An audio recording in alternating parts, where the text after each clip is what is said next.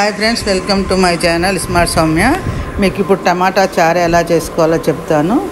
నేను కొంచెం ఆయిల్ వేసి రెండు స్పూన్లు అల్లం వెల్లుల్లి పేస్ట్ ఒక స్పూన్ జీలకర్ర రెండు స్పూన్లు ధనియా పౌడర్ వేసాను రెండు టమాటాలు ఒక ఎండుమిరపకాయ వేసుకొని ఇలా తాలింపు చేసుకోవాలి. వేగిన తర్వాత కొంచెం ఏగనిచ్చి వాటర్ పోసుకోవాలి.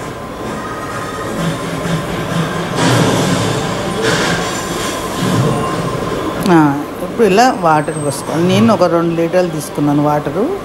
మీకు ఎన్ని కావాలంటే అన్ని పోసుకోవచ్చు.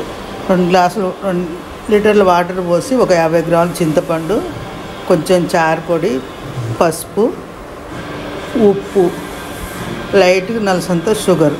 ఎంత ఒక చిటికెడు వేసేసి ఒక టెన్ మినిట్స్ ఉడికాయంటే మీకు చారు రెడీ. చింతపండు నానబెట్టిన అవసరం లేదు. కడిగేసినా కూడా చాలా టేస్టీగా టెన్ మినిట్స్లో మీకు చారు రెడీ అయిపోతుంది.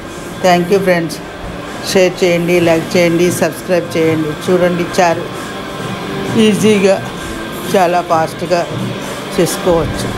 Thank you.